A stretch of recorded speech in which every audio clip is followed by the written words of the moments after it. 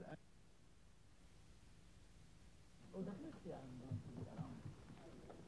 Group until October the 1st. Uh, then uh, close, uh, close to her is Mr. Mallam Adamu Ciroma. Ministers expressed concern about de the deterioration in the world economy and noted that risks to the outlook remained on the downside. In particular,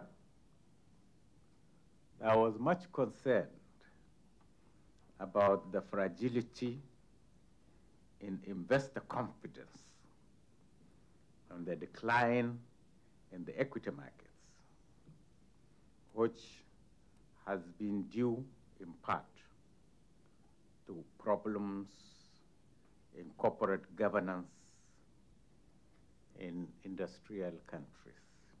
Yes, let's turn to the room now.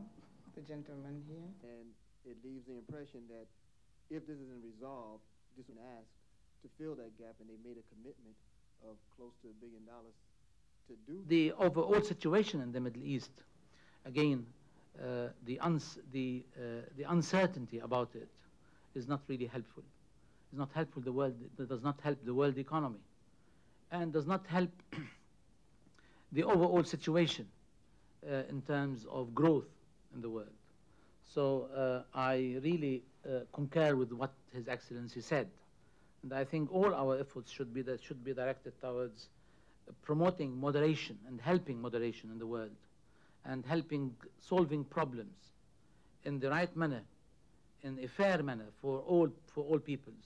economy, but under pressure, meaning um, this economy is is showing some signs of fatigue right now.